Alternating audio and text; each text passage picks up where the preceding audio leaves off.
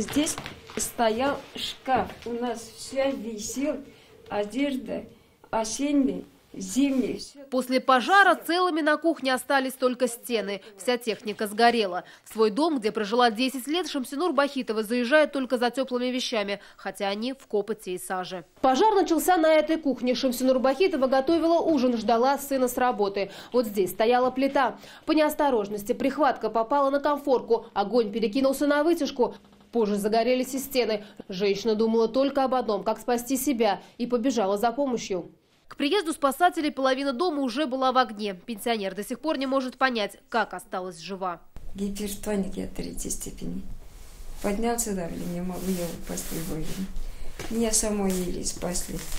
78-летнюю Шамсинур Бахитову приютили знакомые. Сына с семьей, которые тоже жили здесь, друзья. Снимать квартиру дорого, говорит ветеран труда. На это уйдет вся пенсия. Помочь с временным жильем в администрации города не могут. Специальной программы для погорельцев нет. Поэтому женщина хочет восстановить свой дом. Покрыть надо крыши, самое главное. Очень прошу я, как мать, может, виноват я, может, сделаем газ, может, тепло сделаем.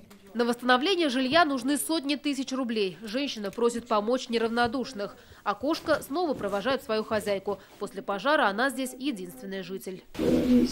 Где ты живешь-то? Анна Городова, Марат Саидгараев, ТНВ, Казань.